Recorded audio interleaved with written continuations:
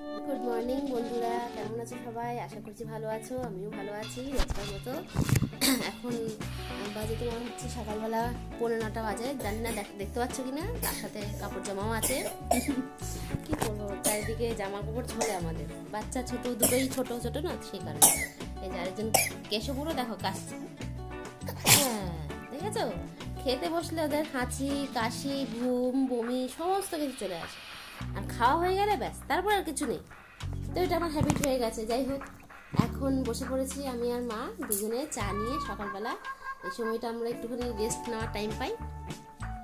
তো কি নিয়ে বসেছে তোমাদেরকে দেখাচ্ছি ব্যাক ক্যামেরা দেখো, এটা হচ্ছে মার চা, একটা বড় জায়গা, বড় কাপ আমারটাও বড় কাপ এটা আমার চা, এটা আমার কাপ আর বিস্কিটটা আমার, এটা আমি খাই, মা বিস্কিট খায় না, মা বিস্কিট খেতে ভালোবাসে না। আর এখানে আছে দেখো ঝুড়ি ভাজা চিড়ে আর নিচে আছে একটা মুড়ি। হ্যাঁ এটা একটু বেশি করে আমরা নিয়ে বসি, কারণ কি বলতো?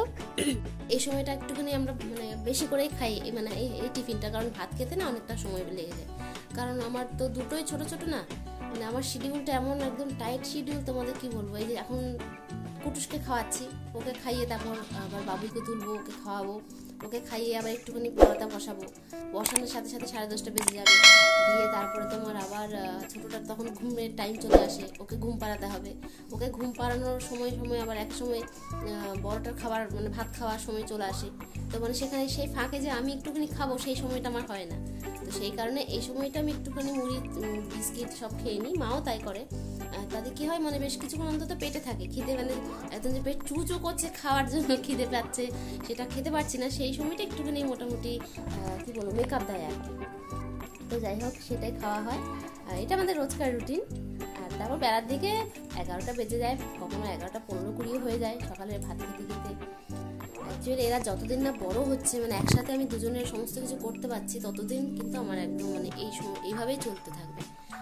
এখন অনেক আবার এখন কি করেছে, আমি রাতে একসাথে খাইয়ে দিই দুজনকে কুটুসকে আর বাবুইকে একসাথে ভাত নিয়ে খাইয়ে দিয়ে আমার অনেকটা টাইম সেভ হয়ে যায়।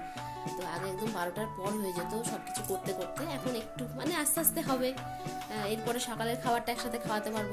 যেহেতু ওর একটা বেলার দিকে একটা ঘুমের একটা নেশা আছে সেই কারণে আমি একসাথে খাওয়াতে পারি না। কারণ খেয়ে তো সঙ্গে সঙ্গে ঘুম পাড়ানো যায় না। তাহলে সেটা হজম হতে অনেকটা সময় লেগে যায়। আর তাতে কি হয় দুপুরবেলা খাবারটা খেতে পারে না। তো এই আর কি যাই হোক। হাই করে দাও। হাই। বলো আমি খাচ্ছি আর দুষ্টু করছি মুখে নিয়ে বসে থাকি সবসময়।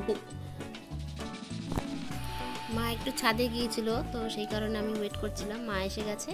এখন চা খাচ্ছি এবার পাশে কিন্তু ছেলেরকেও একসাথে খাওয়াচ্ছি। কুটুসকে সাবু খাওয়াচ্ছি না আর আমি আর মা একসাথে বসে বসে চা খাচ্ছি। তো যাই হোক সকালটা এরকমই চলে। তারপরে শুরু হয়ে যায় ঘোড়া দৌড়ানোর মতো ছুটোছুটি হুড়োহুড়ি। যাই হোক ভালো লাগলে শেয়ার করো লাইক করো সাবস্ক্রাইব করো। ঠিক আছে? টাটা!